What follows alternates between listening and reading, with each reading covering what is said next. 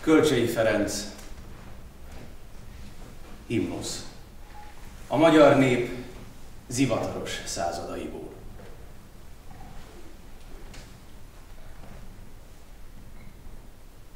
Isten, áld meg a magyart jókedvel, bőséggel. Nyújts felé a védőkart, ha küzd ellenséggel.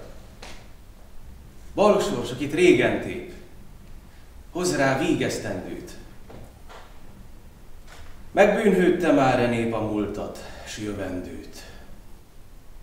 Őseinket felhozát Kárpát szent vércére. Általad nyert szép hazát, bendegúznak vére. Nemzeti imádságunkat, a himnuszt tolmácsolta elsőként olasz Szabó Soma a Magyar Kultúra Napja alkalmából szervezett vers délutánon, január 22-én vasárnap. A programnak a Művelődési Központ adott otthont, és az Orfeó Színház társulatának tagjai szemezgettek a magyar versirodalom legszebbjeiből. Hát ez egy részben azt mondhatnám, hogy egy kísérleti magyar kultúra napja ugyanis az volt a hozzáállásunk, hogy nem szerkeztek, nem találok ki semmit, hanem adott a társulat. Majd, hogy nem azt mondanám, hogy önmagunk örömére, önmagunknak próbáljuk megtalálni az ünneplésnek a állapotát, a hangulatát, mégpedig úgy, hogy mindenki, amit számára ez jelent, szabadon választhat, választott is, és annyian leszünk, akik akartak ebben részt venni. Majd nem azt mondjam, hogy ilyen házi ünnepség féle ez a társulatnak, hogy egymást is egy kicsit közelebbről megismerjük, összeszokunk jobban. Tehát egyáltalán nagyon nehéz megtalálni, hogy mitől lesz ünnep az ünnep. És most ez egy ilyen kísérlet is, hogy nézzük meg, hogy ilyen spontán módon hogy ünnepelünk mi. Úgyhogy számomra is most fog sok minden kiderülni, tehát nem tartottunk se próbákat, semmit, mindenki felnőtt, önálló ember, és amit szíve szerint ő a legalkalmasabbnak gondol, vagy legjobban szereti, vagy valamit olyasmit jelent a számára, ami szívesen megosztana. Egy ilyen bár nyilvános az előadás, hívjuk előadásnak, de valójában egy ilyen spontán szerveződéses alapon szeretném látni én magam is, hogy hogy hogy mozog az emberekbe a, mi az, hogy magyar kultúra napja. Hogy lehet ezt ünnepelni, és mi, mi, miért ünnep egyáltalán. Szóval ez egy ilyen kísérleti jellegű dolog is. 2022.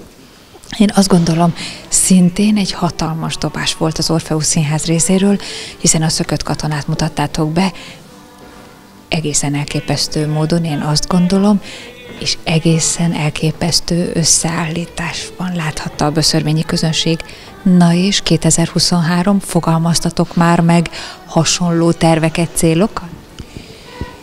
Hát nem nagyon kellett külön kitalálni, megfogalmazni, mert a szökött katonának olyan visszhangja van, és, és főleg a résztvevők száma, vagy részéről, akik játszottak benne, hogy szinte kikövetelték, hogy de hát csináljuk, meg végig folytassuk, folytassuk, menjünk tovább, tehát ez most adott.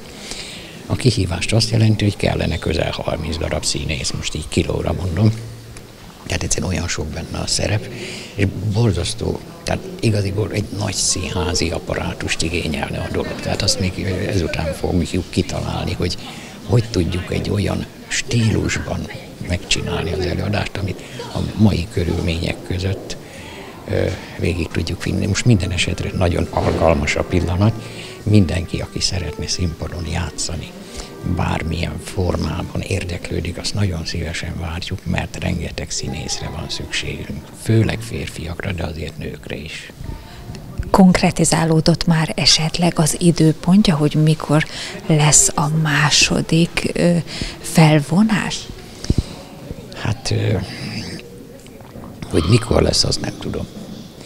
Ez most majd az előkészületek, most kezdődött az év, ugye most indulunk újra, tehát nagyon sokszor össze fogunk jönni, és közösen a társulatnak kell kitalálni, hogy amink van, ami a rendelkezésünkre áll lehetőségek közül, hogy tudjuk úgy összerakni, összeállítani, hogy meg is bírjuk csinálni.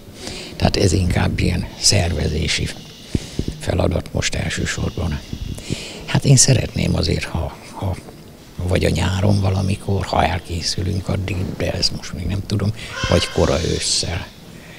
És akkor az egész menne egybe. Tehát ugye az első részt már megcsináltuk, most még van kettő. Most még azt a kettőt is megpróbáljuk összehozni szépen. És akkor egy új ruhában, úgy nem az elsőnek a stílusában, modorában, hanem egy korszerűbb, maibb közelítéssel, és megcsináljuk az egészet tulajdonképpen mind a három felvonást, így mondom.